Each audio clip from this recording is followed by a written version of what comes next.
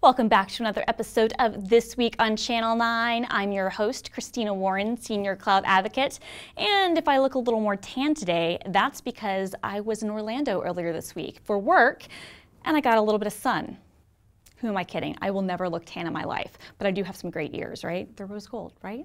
Also, my shirt today is Care of the Open Source Show, which is a great show on Channel 9 that you should totally watch.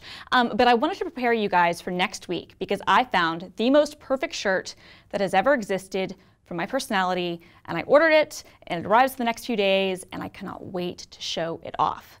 Okay, but enough of all that let's get into this week's latest developer news. Okay, so first up, there was a new Visual Studio Code update. And so version 1.36, or the June 2019 update, is out now, and it has a few new features, like the ability to hide or show individual status bar items. And so this is perfect for those of us, like me, who don't want every single extension we've ever installed to be visible on the status bar. And you can also now drag and drop folders from outside VS Code into the File Explorer to copy it. And in the past, how that would work is it would open a workspace containing that folder, but now you can also copy the folder contents into your workspace. So that's really great. Also, the default shell selector is now better too, and it'll read your installed system shells and make it easier to select a default shell no matter what platform you're on. And there are other updates too, and so I've got a link to the entire release notes in the description box down below. Also, if you haven't checked out the VS Code Insiders release in a while, you might want to fire it up because because it's got a preview of some UX changes that are happening to VS Code that you might want to check out. So uh, check out uh, VS Code Insiders.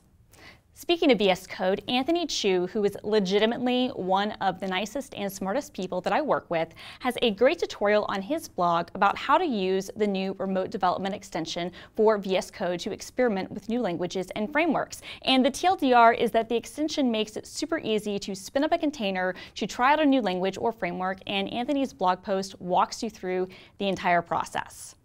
And in other VS Code remote news, over at the command line blog, Craig details how you can use the remote extension alongside WSL to do better uh, Linux development inside Windows. And this has been my personal favorite use case for the remote extension so far, and I love it so much. So links to both of those blogs are in the description box down below.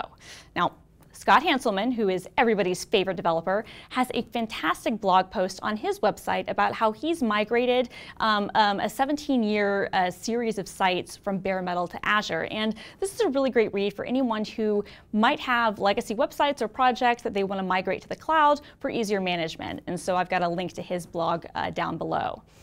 In some JavaScript news, Burke Holland of Five Things fame has a great post on his blog about Nuxt, which is a Vue.js uh, framework that lets you do server-side rendering using Vue. And it's a really cool concept, and Burke does a really great job walking you through the entire process, and he's got a great demo. In some security news, GitHub now has Yarn support for security alerts. And so this works the same way that JavaScript devs have been able to get alerts for vulnerabilities in their npm packages uh, via the package and package uh, lock.json files. And so developers who use Yarn for dependency management will now get those updates based on their yarn.lock man manifest. And I actually already got an email about an issue in one of my projects, and I was really, really glad to see that. I've linked to the GitHub blog in the description uh, box down below explaining how all of this works. Over on Channel 9 this week, we've got lots of great content. First up, uh, over on Five Things, Burke and Jason Hand talk about five things developers can use to go on call without hating their lives. I love it. And on uh, the IoT show, Olivier talks about how you can get rich insights from your IoT data using Azure Time Series Insights' advanced visualization options. And over on the DevOps Lab, Abel and April talk about deploying your Azure infrastructure with Terraform. I love Terraform, so be sure to check that out. And links to all those videos are down below. And now it's time for my pick of the week. So Stranger Things Season 3, cue the music, premiered last week to record viewers on Netflix. And if you haven't watched it already, you should absolutely check it out. It's fantastic. But in the lead up to the premiere, the official Windows Twitter account kept sending out cryptic references to Windows 1.0 and the year 1985, which is the year that this season of the show takes place. And uh, earlier this week, we got a great new Windows 1.11 app that ties into the Stranger Things 3 universe, and it's in the Microsoft Store. It's freaking awesome, and all retro computer lovers or Stranger Things lovers or both should definitely check it out. And I've also got a link down below about how you can experience Windows 1.0 without the app, courtesy of my friend David over at Lifehacker. I never actually used Windows 1.0 or 1.11 or 2.0, but if you did, I would love to know your memories in the comments down below. Well, that does it for me. If you liked this episode, give it a thumbs up on YouTube. It really helps.